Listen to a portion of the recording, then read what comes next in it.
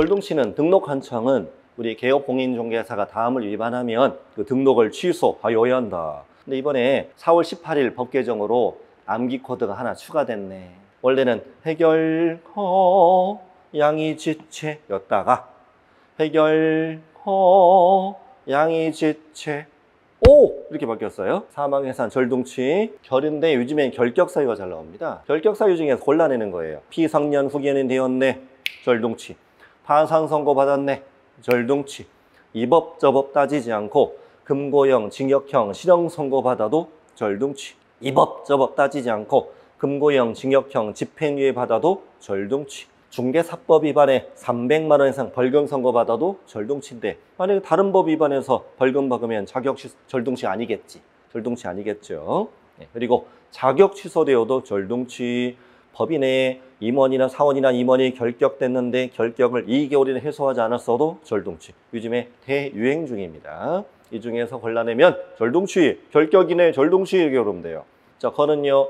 거짓 부정 등록 등록이 안 되는데 등록이 되는 것처럼 꾸민 거잖아요. 거짓 부정 등록은 당연히 절동치지. 그리고 형벌 3-3을 때리는 이유는 무등록 중개업이나 다르지 않다. 그래서 형벌도 같이 때립니다. 양 4개입니다. 성명을 사용해 중개업을 하게 했어. 상호를 사용해 중개업을 하게 했어. 등록증을 양도했지. 등록증을 대여했지.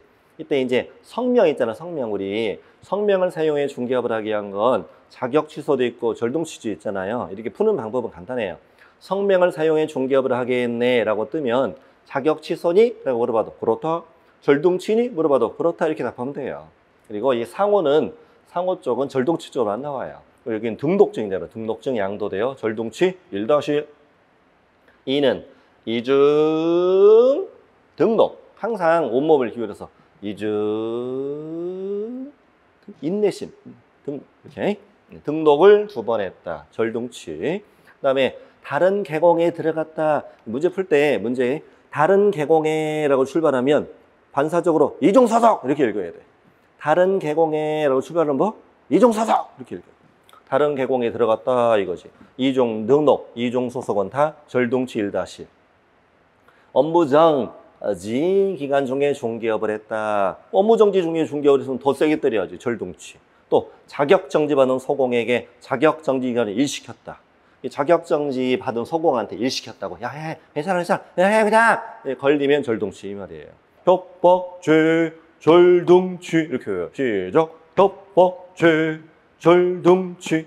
최근 1년 동안 업두개 먹고 업 위반했다. 업을 두 개 먹고 또 업무정 위반에 걸리면 업무정지 안 때리고 절등취 때리는 거죠. 업두개 먹고 업 위반 워낙 잘 나오죠, 이거. 이 숫자가 이제 여기 1 이렇게 바뀌는 거 조심해야 돼. 업 하나 먹고 업 위반은 그냥 업무정지야. 절등취가 아니고.